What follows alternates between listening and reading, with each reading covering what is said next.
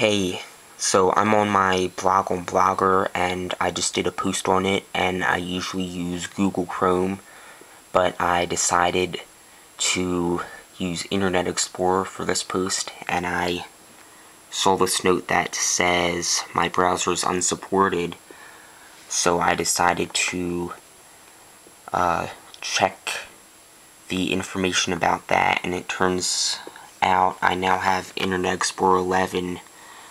my computer downloaded the update automatically because before um, I got this update I had Internet Explorer 10 so that means this message must be some sort of error. So um, I just thought I'd show you all this. So um, I guess that's it for this video.